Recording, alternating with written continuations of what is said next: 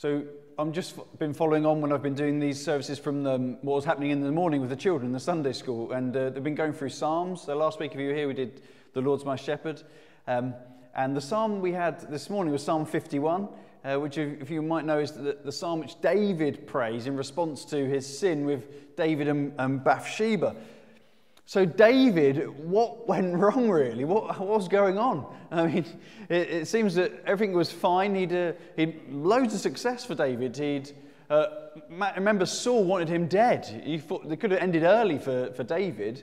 Saul wanted him dead, um, and he had to keep running and hiding from him. And, but then he, he becomes king, doesn't he? And uh, he defeats his enemies, and, and he, there he is as in in Israel and Jerusalem, and he, everything's sorted, everything's right, everything's pe- at peace.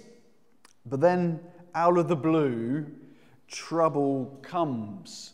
And uh, the trouble is his, his, his, own, his own making.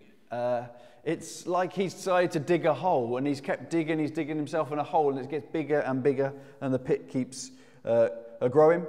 So it's in, in 2 Samuel chapter 11 when uh, it says at the time when kings meant to go to war, David was meant to go to war. David was meant to lead Israel out and back. And instead of doing that, he lets Joab go instead of him.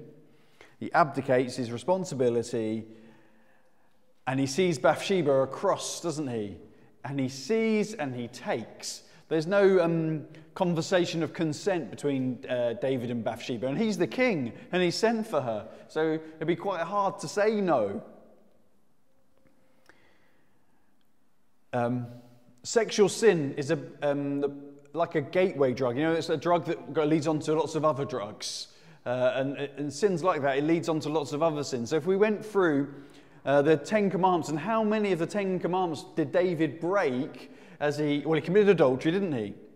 But that committing adultery, what did it lead to? Say lies, was that? Yeah, it led to lying. Murder. Yo, look at that, an echo, like a surround sound there from the front. it led, it led, yeah, it led to, it led to murder, didn't it? Yeah. And uh, it, it, it's like it, was it was like it was like he was digging, you know, the you know the conversation thing. Stop digging a hole for yourself. Well, David dug a sin hole, didn't he? And he kept digging and digging. It, it seemed to get worse and spiral out of control. David sinned. Uh, Bathsheba was sinned against. He, he took her, didn't he, and abused her in that way. And chapter 11, verse 27, tells us how the Lord feels about these event, events.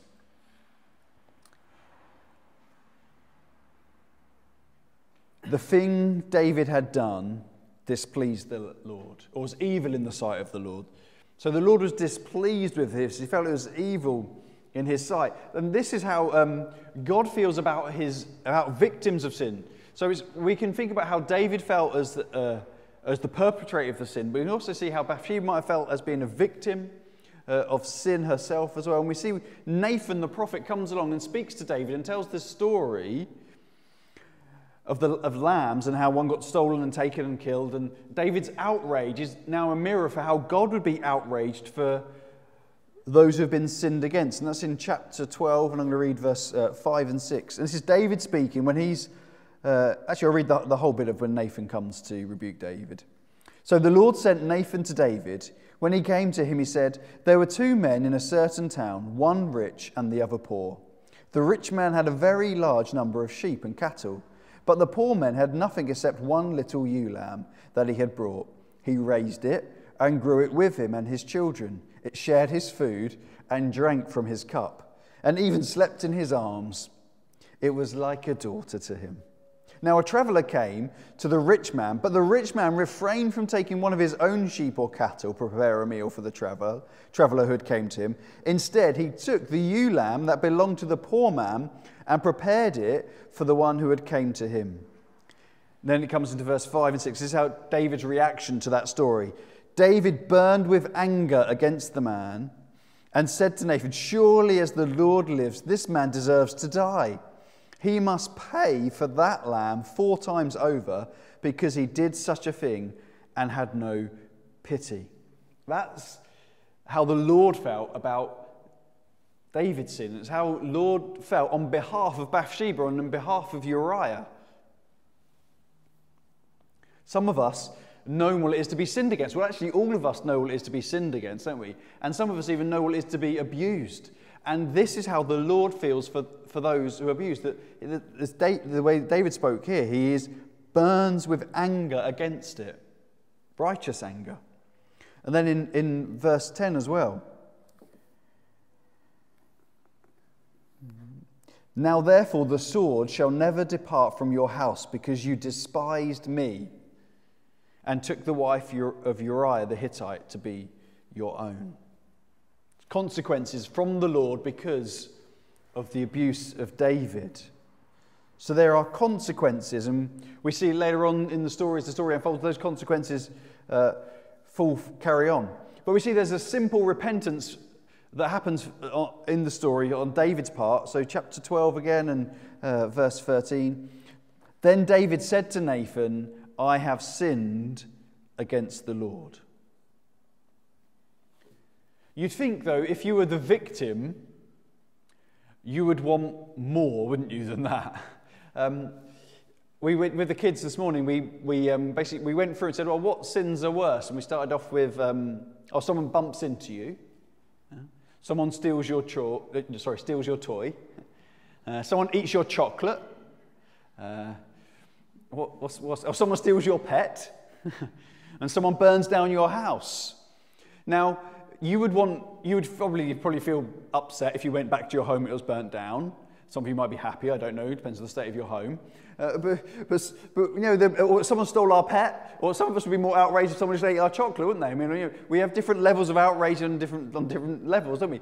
But some things are more outrageous than others, aren't they? And here David's sin is clearly outrageous. So we would have thought for the response that David says, I have sinned against the Lord, we would want some more for his repentance, wouldn't we? We would want some tears we would want some, you know, something, just something more. But it's a simple, I have sinned against the Lord. And Nathan replied, The Lord has taken away your sin. Now, we don't always see what's going on in a man's heart, do we, from that simple repentance that we have of David's here. But there is grace on offer for David, and there's grace on offer for Bathsheba. And because we both, all of us, vict- those of us who are victims, we all are victims at times, and those of us who are perpetrators, and we're all perpetrators at times, we all need God's grace. And God's grace is receiving what we don't deserve. And we come as broken people. We're broken by our sin against others, and other times we're broken by other people's sin against us. But the way that we receive grace from God is we come as broken people. And we come recognizing our brokenness and recognizing our hand in our brokenness. And that context is the context where David uh, wrote Psalm 51, which goes like this Have mercy on me, O God, according to your unfailing love. According to your great compassion, blot out my transgressions. Wash away all my iniquity and cleanse me from sin. For I know my transgression, and my sin is always before me. Against you and you only have I sinned, and done what is evil in your sight, so that you are proved right when you speak, and justified when you judge. Surely I was sinful at birth, sinful from the time my mother conceived me. Surely you desire truth in the inmost parts. Teach me wisdom in the inmost place. Cleanse me with hyssop, and I shall be clean. Wash me, and I shall be whiter than snow. Let me hear the joy and gladness. Let the bones you have crushed rejoice. Hide your face from my sins and blot out my iniquity. Create in me a pure heart, O God, and renew a steadfast spirit within me. Do not cast your presence from me or take your Holy Spirit from me. Restore to me the joy of your salvation and grant me a willing spirit to sustain me. Uh, cleanse me with hyssop. Now, hyssop, that have been the same way that it was used in the Passover to take the blood and place it on the doorposts. So, the idea of cleansing me with hyssop would, would be a, a picture looking back to the Passover where the blood of the lamb was spilled for grace and forgiveness to flow and the passing over of death for the people of God in Egypt. But there's that refrain in there, isn't there? Create in me a pure heart, O God. If we'd imagine for a moment that Jesus was our waiter this evening, and that's the way Jesus came to the world, didn't he? He came as a servant, uh, not to be served, but to serve. And we've all got cups, wine glasses or cups. And, and Jesus is the waiter, and he's going around, he's wanting to top up our cups. And into our cups, he would top up love, wouldn't he? And joy and peace and goodness and mercy. And he's round, ready to pour into each of our cups. But Jesus, the waiter, will only pour into clean cups. But here we are, and what do we have? We have dirty cups. We have cups that have been broken and, and, and, and, not, and not clean, not cups that we'd want to drink from. But Jesus wants to pour these good things into our hearts, yet he can't. He can't because he can't pour into these dirty cups. You can only pour when you've got a clean cup. How do you wash? How do you wash? Well, you use water, don't you, I guess? I don't know if anyone washes themselves in, in alcohol gel yet, but you, you wash with water and soap, don't you? And if you always want to clean your hands, you can use that, that gel, can't you? But that's how we can. But how do you clean your heart? Jesus saying, I want to pour these good things in your life, but I can only pour into a clean heart. How do you clean your heart? Well, it's, it's the refrain's given us create in me or give me a pure heart, oh God. So, to be filled with all those good things from Christ, Christ has to cleanse us, to purify us, and then we can receive. So often we want just some good things from God, don't we? We want peace or grace or mercy, but we need a cleansing before we can receive. And that's why we're, we're encouraged to keep coming back to the communion table, keep coming back to the sacrifice which purifies, the cross which purifies us from all unrighteousness. We're purified, then we re- receive.